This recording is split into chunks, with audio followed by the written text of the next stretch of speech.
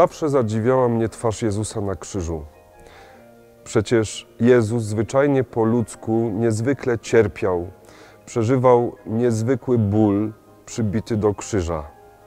A jednak w większości artyści przedstawiają ukrzyżowanego Jezusa jako tego, który jest pełen spokoju i pokoju. Jego twarz jest spokojna. Zastanawiałem się, dlaczego tak jest. Prorok Izajasz w 50 rozdziale pisze o słudze Pana. W zasadzie maluje jego portret. Dzisiaj wiemy, że te słowa bezpośrednio odnoszą się do Jezusa i do Jego cierpienia.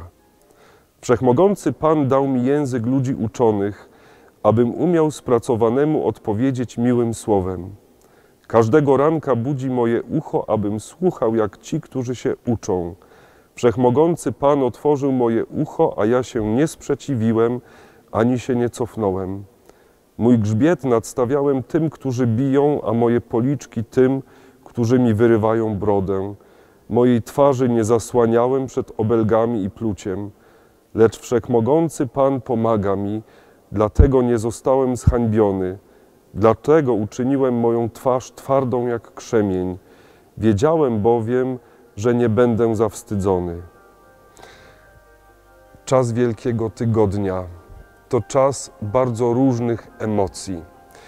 To czas, w którym Jezus z jednej strony jest hołubiony, w którym ludzie wyciągają swoje ręce, żeby tylko dotknąć Jezusa, a z drugiej strony jest to czas, w którym ludzie niemiłosiernie szarpią Jezusa, biją go, uderzają, poniżają, popychają, równają z ziemią, pozbawiają godności, pozbawiają wszystkiego. I w tym wszystkim zadziwiające jest to, że właśnie twarz Jezusa jest jakby niezmienna, jest stała. Niezależnie od tego, jakie są emocje tłumu i niezależnie też od tego, jakie emocje kotłowały się najzwyczajniej po ludzku w Jezusie. Skąd ta postawa? Lecz wszechmocny Pan pomaga mi, pisze prorok Izajasz. Tym, co pozwoliło Jezusowi przejść drogę krzyża, było skoncentrowanie na celu, skoncentrowanie na tym, z czym Jezusa posłał na ten świat Jego Ojciec, nasz Bóg. Wtedy Jezus, niezależnie od tego, co dzieje się wokół Niego i w Nim, idzie naprzeciwko krzyża. Idzie drogą krzyża. Często jest w naszym życiu podobnie. Huśtawka nastrojów, huśtawka uczuć, huśtawka odczuć pomiędzy triumfem a porażką. Tak jest w naszym życiu.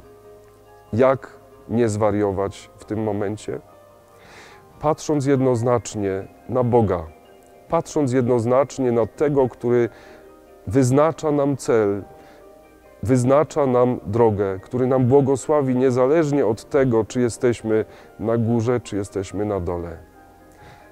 Życie skoncentrowane na celu, życie skoncentrowane na krzyżu, taka jest nasza droga. Taką drogę wyznacza nam Jezus, który mówi: Jeśli kto chce iść za mną, niech się zaprze samego siebie, niech się zaprze swoich emocji, niech się za, zaprze swoich chwilowych radości i chwilowych smutków i idzie za mną. Niech weźmie na siebie swój krzyż i naśladuje mnie. Bóg chce, żebyśmy w naszym życiu widzieli Jego jako drogę i jako cel. I dlatego zaprasza nas na drogę krzyża. Popatrzmy na Jezusa, który jest sprawcą i dokończycielem wiary błogosławionej niedzieli i błogosławionego Wielkiego Tygodnia.